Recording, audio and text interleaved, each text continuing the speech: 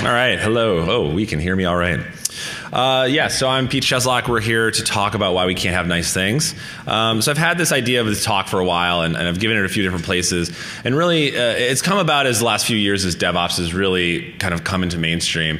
And my problem with DevOps is that I feel like we talk about devs and ops and getting them to work better together, but we kind of ignore security uh, and security teams and, well, just security in general. Um, and so, you know, I just want to talk a little bit about that, especially as my experience as a traditionally non-security person. I've done ops most of my life and uh, never really had to uh, work uh, with a lot of security people very often. Um, so yeah, again, my name is Pete Cheslock. I work for a company called ThreatStack. Uh, we actually have a booth out here. We're sponsoring this event, and what we do is uh, we we have uh, uh some software, a SaaS service that can help you identify your internal and external threats, help you identify data loss, and try to just answer who did what when I've been working there for a few years now, and I uh, run the operations team and really just help out at wherever as, as a normal startup would do. Um, like I said before, you know, I'm not traditionally, I don't consider myself a security person. I think people uh, make fun of me for that quite a bit because I work for a security company. Um, but a lot of what I've learned from a kind of a security mindset uh, and how that relates to, to DevOps has really come about in the last few years. And the nice thing I think is I've seen, especially in the DevOps communities, this is actually my first uh, uh, LISA event, uh, but in the, the DevOps communities, you know, you're seeing a lot more security talks, which is phenomenal. More people are talking about it, which is great.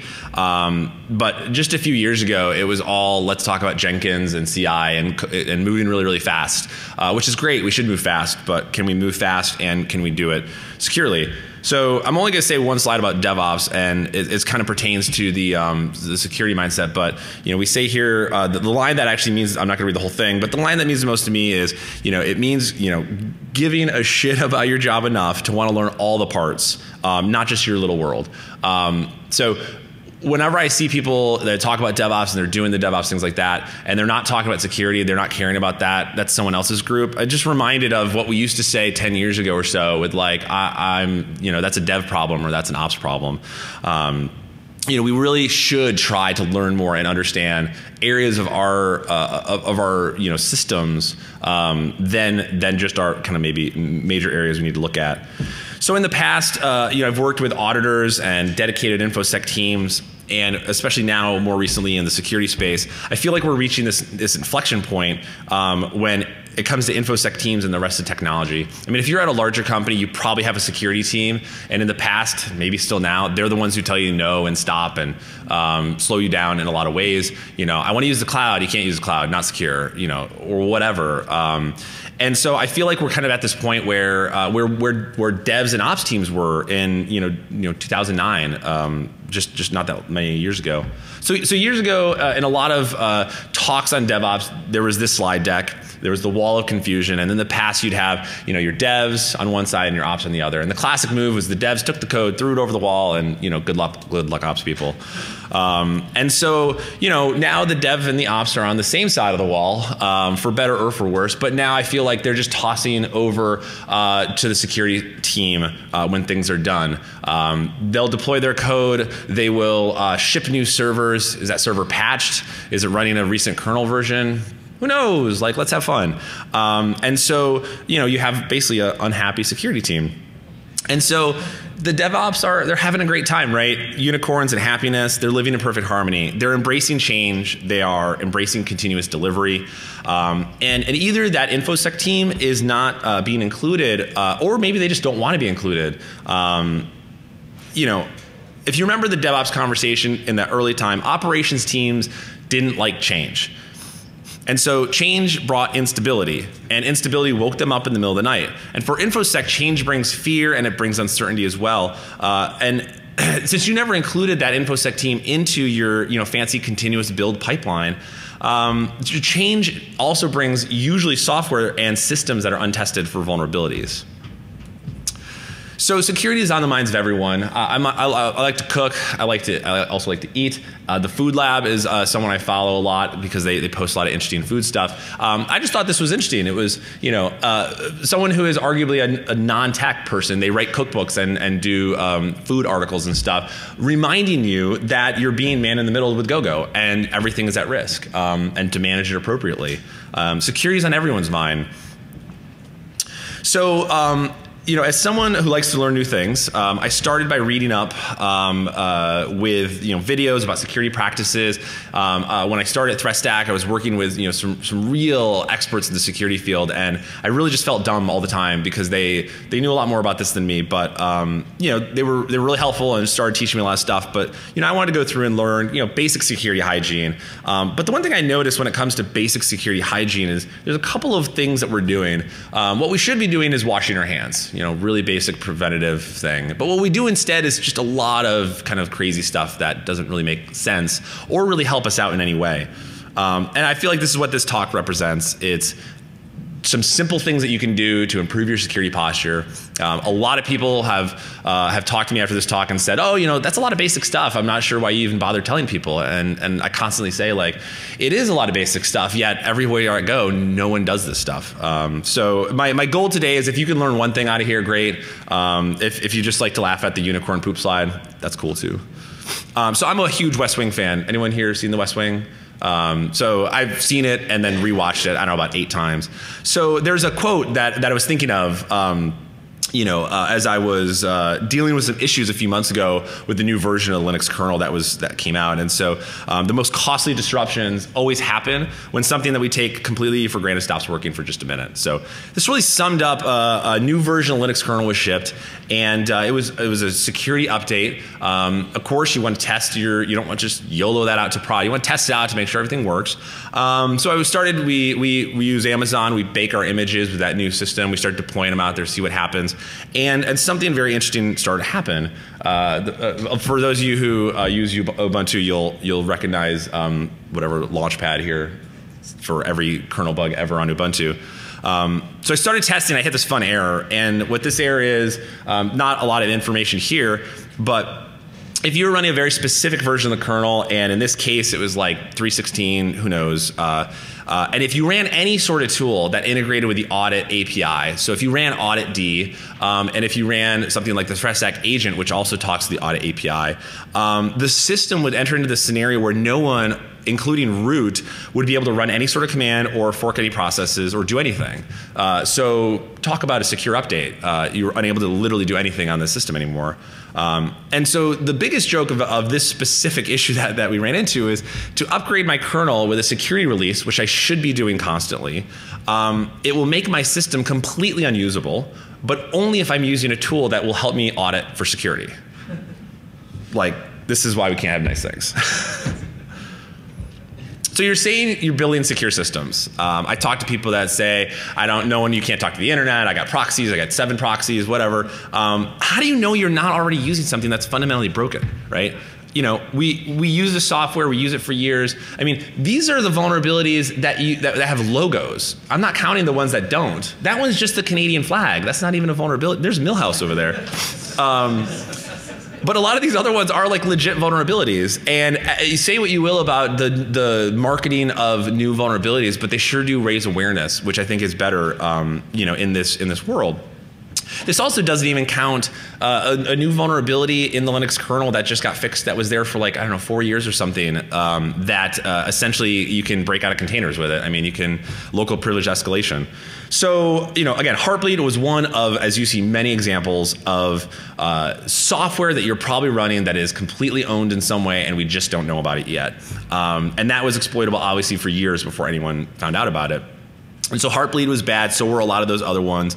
The idea that someone could just grab your keys off your server and you'd never know. I mean, I, I wanted to open up a meatball shop that day. I was kind of done with computers. Um, but you know, then then we had shell shock that happened after, and then and then and they just kept on coming. Um, and they still do to this day. It's never going to stop. There will always be uh, software that we're using will always have uh, security vulnerabilities, and so we have to manage that. Um, so what about vulnerabilities with curl? Um, it's a good thing that we don't use, you know, curl or bash to install software or anything. That would be crazy. Um, so for my Linux users here, uh, for my non-Linux users here, uh, you know, using curl and bash is just grabbing scripts from the internet and just running them at random uh, to install software is, is become this new prevalence in the world. And, and I can hate on a, a curl bash and unauthenticated installing software um, until you start talking about installing packages from Yum and, and um, apt, apt and Yum repos and realize that GPG doesn't even work on, on those and there's been bugs in that forever. So um, this is fine though. Everything is fine. Um, and again, I, have said this before, but as an ops person, I don't uh, security is not a forefront of my mind, especially a lot of startups I've worked at. Um, you're moving so fast. Uh, you, the money will run out eventually. You got to get servers up and running. You need the servers to stay up and running. Uh, hopefully, you're successful, but then unfortunately, now you got to just keep the servers running, keep the servers running. Um, and so, security is always the afterthought. Um, it's always the thing that's that's handled, you know, years down the road. Um, sometimes never, as we've seen with a lot of these breaches um, more recently. But I really try to do the right things. Um, I try to use strong passwords, least privilege access. I try to log for unauthorized access, kind of the simple stuff that you should be doing.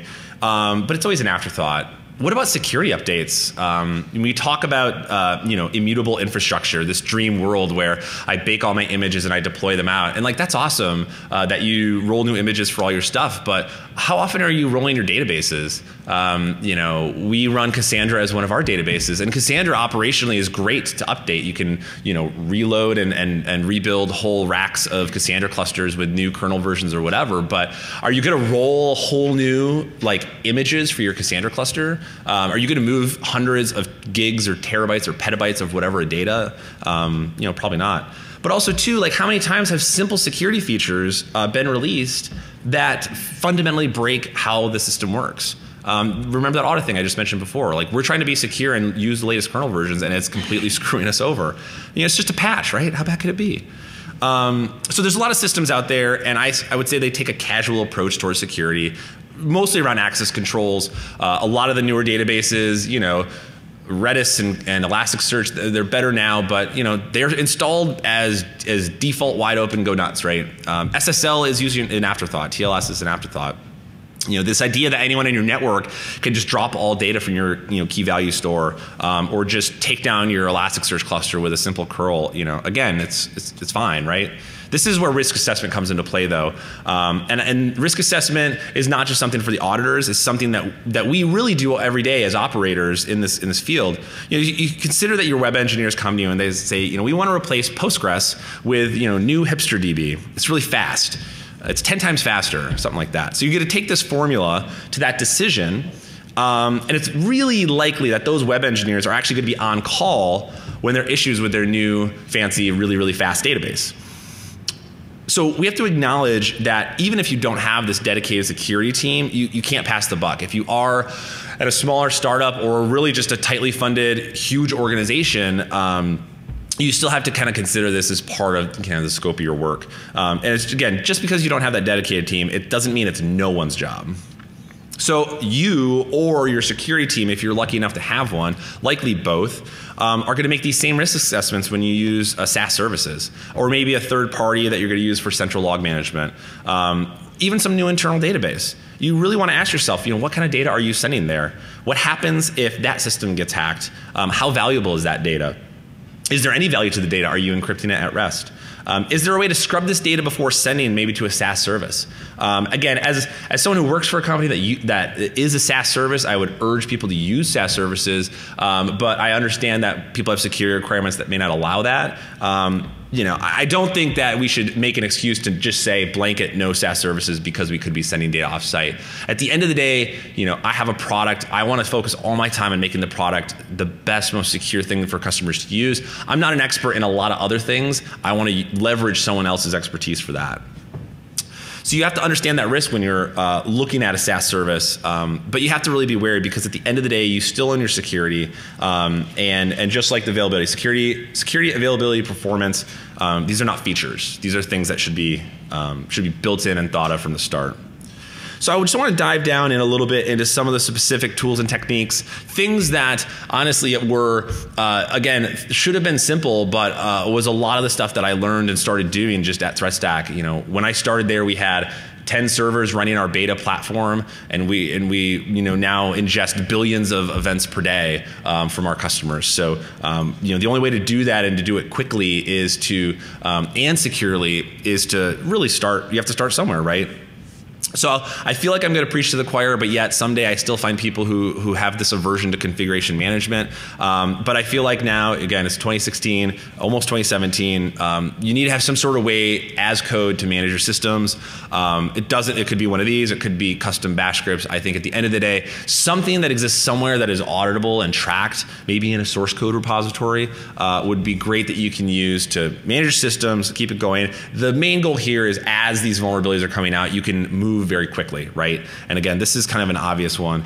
Um, at a past company, um, they uh, we didn't have a dedicated security team until after I had started, and the security team was kind of I don't know if you call it classical, but they were more like going through attestations and and not really like application security or, or system security people. Um, but as we started bringing those people on, what I what I did is worked with them using a tool called Test Kitchen because I wanted them to have this ability to provision a, kind of a base instance of, of our stack, and they could do that locally. So Test Kitchen is kind of a wrapper around Vagrant. Um, it integrates with Chef uh, primarily, but it does integrate with Puppet. And the idea is that the security engineers could run Test Kitchen to build like a base stack. And what they would do is then they could audit that base stack in the in the in the output of this fully configured box. And then what happened over time is that they started writing their own cookbooks and updating cookbooks. And they'd say, oh, the, you know, the permissions in this log directory are incorrect. Let me fix that. And they would, the security team would actually make these fixes. It wasn't like go and create a ticket and wait six months. Um, what was even more interesting is they started writing cookbooks to deploy things like auditd or OSSEC. Um, and then they started getting involved in the Jenkins pipeline and how can we do application testing at build time and things like that in a lot of ways, it's not like they didn't want to do it or they didn't have time. It's they just didn't know what was there. Um, you know, they have an expertise that is much different than an operations world, and so just a lot of times showing them what exists, showing them the, the tools that you're using. Um, I was really impressed as to how quickly a lot of the security people, you know, dove into these things. Um, so, does anyone here uh, operate a uh, an external kind of paid service? Uh, you know, so the, the concept of a bug bounty, I think at this stage in the game, if you operate a service that is any sort of like you know external customers you know you should have a bug bounty program set up. I always look at it like united has a bug bounty. They're, they're not i don't know i don't consider them to be known very well for great customer service or reliable flights but i mean they have a bug bounty program so you know you really should have one too. Um, if you do set up a bug bounty program uh, even if you you know are not quite there yet give some way for people to contact you securely. Um, on your your website for your business have like a slash security endpoint that people can hit and they'll have all the information about how to contact you and what's in scope and things like that. But there's tools like HackerOne um, and bugcrowd that make it easy to set up bug bounties where you can get people and, and budget for this pay people to come in and find stuff in your environment. Um, you would be completely blown away about how quickly vulnerabilities will be found in your application when you open up a bug bounty program. Um, and as we know, I mean, there's companies like Facebook and GitHub, and uh, again, all the largest ones pay great money for finding bugs. It, it kind of shocks me to find when when small companies, you know, small startups don't have a bug bounty program. You know, at this point, they're so easy to set up. There's companies that'll help you do it. Show uh, so shared secrets, um, not just for you, but also for your infrastructure. Um, I think this is the hardest part of any topic on security. If you went to Noah's talk the other day, he talked about a lot of the different um, kind of the state of you know shared shared secrets. Um, the best advice I can give when it comes to secrets management is to do something, uh, anything. Um, the current state of finding, uh, again, 2016, yeah, I'm, we still find uh, AWS access keys sitting around in GitHub repos, and we still find uh, secrets in, um, in, in source control. Um, don't put this problem off for another day. It's just going to get worse and it's going to get worse. And I honestly don't think that you need some super complex solution to this one. Um, in, in, a lot of cases, starting off as simple as just a shared 1Password database, something that this stuff can sit securely. Um, you know, as you grow and mature as a business, you know, you'll want something with audit controls and you'll want something with role-based access and things like that. But for a lot of times, people just don't have anything and they'll just say, oh, there's a wiki page on Confluence with all of the logins and passwords for stuff it's like, what? so there's a lot of awesome tools out here. Um, this is probably just a small uh, portion of these. Um, the one of note, the, the tool at the bottom here is called jass. Um, it's a really helpful tool. It can integrate um, with LDAP if, if you have LDAP and your SSH keys, but basically can encrypt data and secrets with, with someone else's SSH key. Um, again, as operators, I find this to be a really nice tool. Um, I believe it was in use over at Twitter. Um, they used it to share secrets around. So, you know, using tools like HipChat and Slack, these public chat services, it's, it's nice to have like a kind of quick, easy command line tool that you can just quickly encrypt some, some data and shoot it over to another person. Um, it's awesome, I will say, that, that these options exist. I mean, five years ago, none of those existed. Um, and how and how do you manage you know secrets? It's probably build something yourself, um, or just don't like most people did at the time. So I definitely love where where we're at. Um, it, we can always get better, and and that's the hope is that we continue to get better. So does anyone know what, what this is a picture of? This is actually my favorite picture in the entire deck.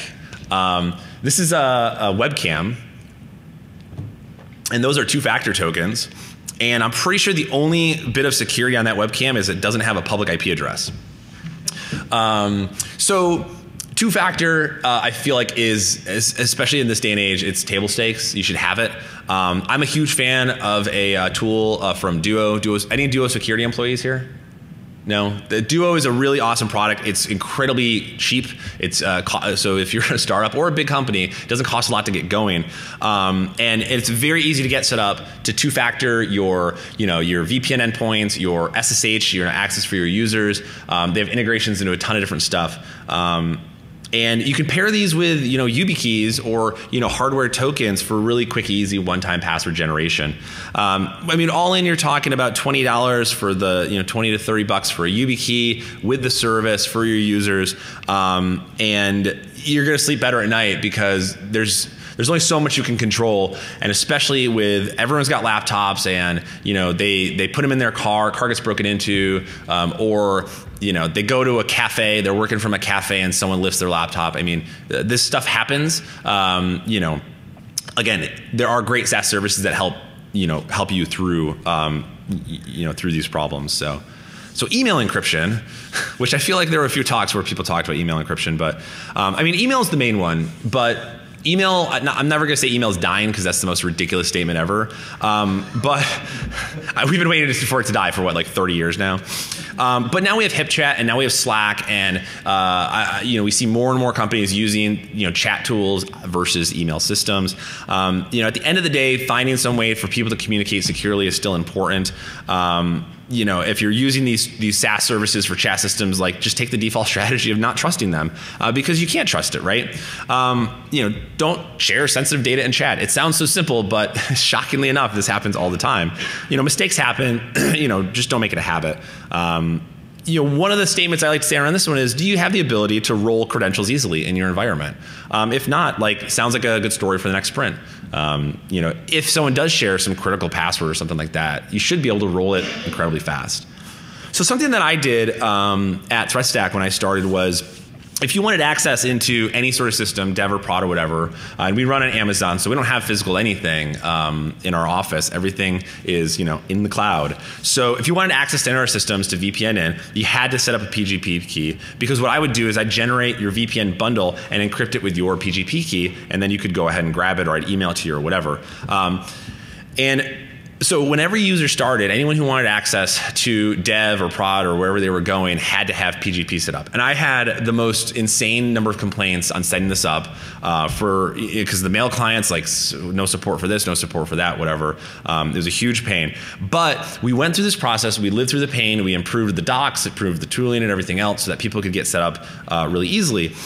And now what we have is this wonderful world where everyone in the company has uh, encrypted email set up by default. I mean, we use Gmail for our stuff. We still need to get data around to each other. And it's everyone, including like product people and executives and things like that. Um, it's turned into a kind of a, a, wonderful scenario that now we have this um, secure way of communication for people who probably are less security minded when it comes to um, you know, sharing sensitive data. And it took a lot of iterations. I mean, the first way we tried to set up user access and encrypting that data with PGP was uh, was insane. It was terrible. Everyone hated me for it.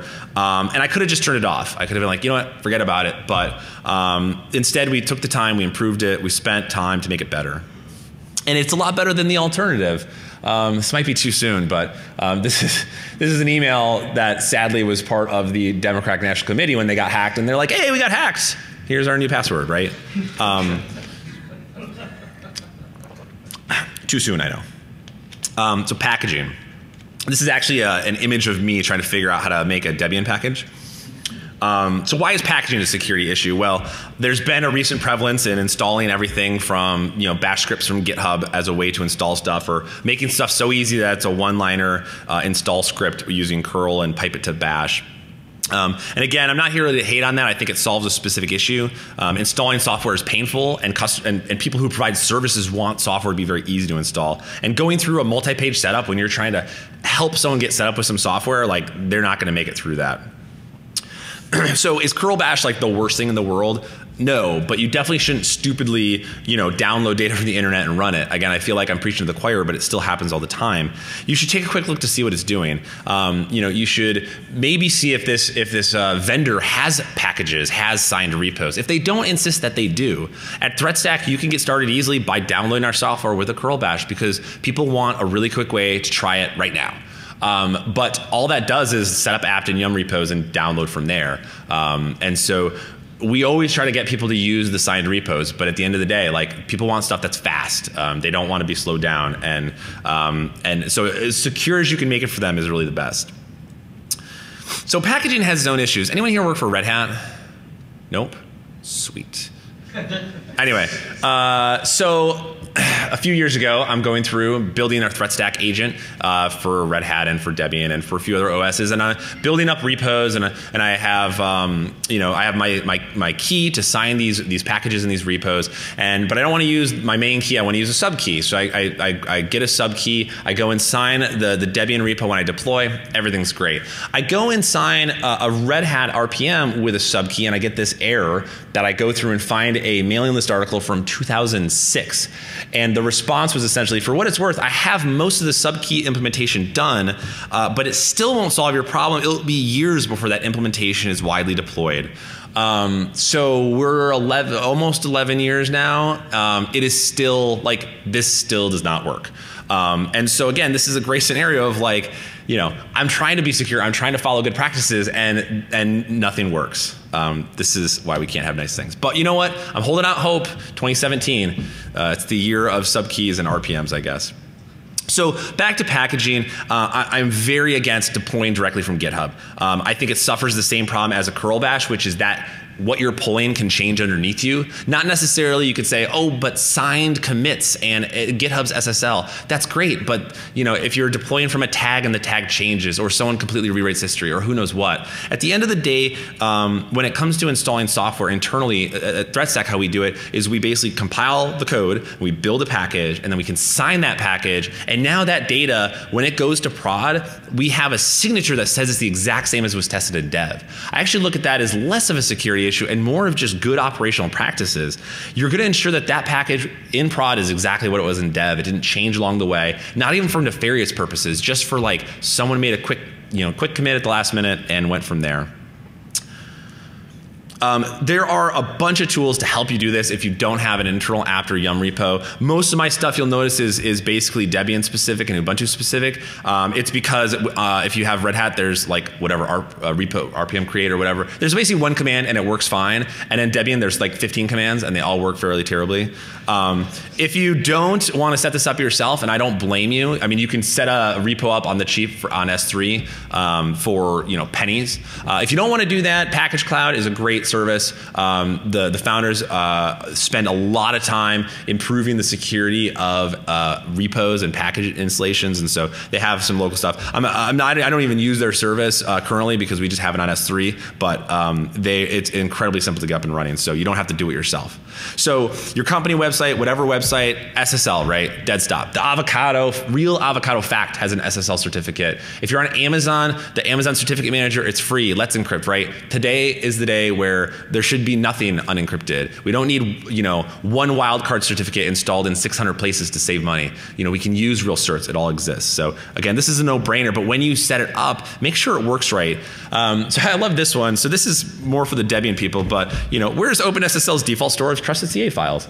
Um, all over the place, right? And so make sure you put things in the right place. Um, because at the end of the day, it's hard. There's a lot of tech debt out there. This is a great example of tech debt when it comes to SSL. Um, so as you set them up, make sure to monitor them. And this is usually the joke where I say, everyone says, "Well, Pete, this seems so simple and easy. We, of course, we do this stuff." Except, you know, Instagram cert failed, uh, Gmail cert failed. Microsoft had two cloud outages two years in a row because the cert failed. And you know what happened is, is someone created that cert, renewed it for one year, left the company, someone else, and then it failed again, right? So um, monitor your certificates not just for when they're going to die, but if anyone uh, hasn't ran SSL labs on their on any of their sites, it's got to be a public site. But go and run this against anything public facing that you manage uh, on the SSL and and not only run it one time, but run it uh, via a script. So this is we use Sensu for monitoring. This is just some some light Ruby that will uh, call the the Qualys uh, site, run a scan on everything external, uh, and it returns it back to me. And so it'll create an alert if if one of my sites drops below an A plus, um, I get alerted for it. The nice thing is, is as they improve the scan, then your nightly scans get kind of smarter and smarter. So AuditD and OSSEC, anyone here use these tools, AuditD and OSSEC? Um, you know, they're they're they're what's there. It's, they're not the best. If you like multi-line output, you're going to love AuditD. Um, but at the end of the day, you know the tools exist. Um, you can go and collect user access data from your systems and and and network and processes and things like that. You can capture all this data and, and start alerting and trending on it. And then also SE Linux or you know AppArmor. Uh, just just don't turn it off turn it off if you, you know, your application may not work with SE Linux, and that's totally fine. Um, but I often find people just say, I'm just going to turn it off instead of spending the time to um, actually make it work. Um, so you can take those tools and you can send them into open source tools like the Elk Stack, right? And you can get information. Even if you do nothing with it, you at least have it because later on this data could have some massive value to you if you get breached or if just some internal user lifts some uh, you know lifts a database and and you know nopes out a company you've got some sort of access and tracking there so continuous monitoring doesn't just stop at the host. If you're using any cloud services, um, you know, scan your systems, monitor them. Amazon, if you're using it, has CloudTrail. It has tools designed that you can use to to capture it. And if you don't want to build this yourself, ThreatStack, uh, we have a booth out there. You can come check us out. I mean, uh, we live in a world where you can totally build it yourself, and also you can just pay someone to get um, you know to get out of that one. So you don't need high tech uh, solutions to these problems. At the end of the day, you know these are more likely people problems. So do you have an IR plan in place? Um, if you lost your laptop at this event, who do you call? Do you even know who to call? Um, a lot of times we have salespeople on trips. We've created an email that goes to PagerDuty and just pages like five people. So keep it simple though. I don't think you need to create this in-depth ITIL IR plan to deal with you know issues in your environment. Like I said, a really simple way that if someone sees something weird that they can contact you. Um, because you're going to have an engineer, they're going to see something odd. They're going to see just uh, it's a database file on a server, but we don't do database dumps. Or you know, I just seen this weird connection from an IP I don't know about. Where do they put that information? Where do they go to let someone know? It could be nothing, but it could be everything, right? Um, and so just have a way. There's always going to be these weird attack vectors, right? Have an easy way that they can go through and and notify people when this is happening. So you want to give people safe access to production. Um, this is usually where I talk about doing the DevOps and giving people wide open access. Um, we don't want people logging in all the time. It does compromise the system from not only an operational but also a security standpoint. Um, you know, if you do let people in though, it's trust but verify. And how do you verify? You use either a tool like ThreatStack, you could use AuditD, you capture all these events, and that's how you verify people are accessing what they should be accessing, and hopefully nothing more. So we want to treat our servers like cattle, not pets, right? We want to continuously monitor, monitor things. Um, collecting this data, again, you may use it today and you may not use it, but start small. Identify some high risk thing. Do you have two factor on your VPN device? Nope. Go set that up. Um, are your passwords, you know, sitting in a 1Password doc? You can probably improve that. Maybe use one of those great secrets management tools that exist out there. But you know, find your external servers and try to you know improve those because at the end of the day, you want to have a security conscious company. I think the best, um, like you don't want people to have the, the, kind of the security asshole no one will go talk to. You. Because if a bad thing happens, they're just not going to tell you about it. Um, you want to be open and welcoming with people, especially addressing security needs. You want them to come to you and let you know that there's an issue. Um, if there's one thing to good, good thing to come out of the heartbleeds and the shell shocks and fridges that are just hacked everywhere that you can go is that it's making the news and people are talking about it and tools are getting created to help us out with that one. Um, you know, it's the Internet of Things that is, uh, you know, the other talk that the Dyn folks are giving about their DDoS. Um, you know, it's not Internet of Things as much as the Internet of vulnerable refrigerators. Um, this this isn't going to get any easier. So the more we talk about this, the more we teach other people is is is how we can work together to build things more securely. So thank you very much. I really appreciate it.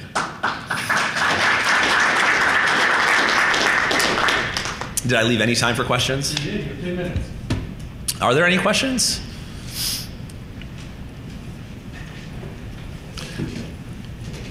All right. I've got a question. Oh, we do. All right. Uh, you mentioned uh, GPG issues with both Yum and apt. You commented a little bit on uh, Yum. Uh, I was wondering if you could follow up on the apt issues. Yeah, so um, this is where it's going to be better to. Uh, there's there's been a few talks by uh, Joe D'Amato was the one who gave the, the conference talk at. Um, trying to think if it was Monitorama or another one, but he's done a couple of conference talks recently uh, because with Package Cloud, he's working on you know building the apt and Yum repos. That was their first product, and he found a series of places where um, the uh, local verification of those um, of the GPG keys just didn't happen. Like the code path was never called, um, and he, he found them in a bunch of different scenarios. So if you give a search for Joe D'Amato uh, Package Cloud, um, he's written extensively on it, and uh, I won't even attempt to try to explain what he found because it is uh, it is far above my head. Yeah, so I'm just curious how you got uh, non-technical people to actually start using GPG. Um, I'm assuming you didn't use the you're not using the Gmail web app because it has crap for actually you know exactly. encrypted email. yeah, so I guess we're we're lucky uh, in a couple of ways. One is you know we're we're we're a we're a startup, so as people were added on, we could kind of follow the same model. The nice thing is, is we all use Macs. Uh, the Apple Mail uh, does do uh, secure email well. Um, uh, in the really early ThreatStack days, we did SMIME everywhere, and that worked uh, to some degree. But the whole security around SMIME, if you want my opinions, find me later. Um, but it's it's kind of ridiculous. Um, so uh, essentially, we had to sit down with people, um, spend the time. Uh, it was definitely an investment, um, but luckily we have a very um, you know standard setup of you get the Mac and you'll have you know Mac Mail and things like that. So um, if you if you have a larger business, if you got Apple, you know Macs, you got laptop, uh, Windows, Linux um, then unfortunately I can't help you with that one. But uh, yeah, it, it's it's basically like the premise was for us is we really wanted to spend the time and, and try to make it work. Um, and we had the the pleasure of still being small enough that we could do it kind of one person at a time. So, any other questions? Awesome. Thanks a lot.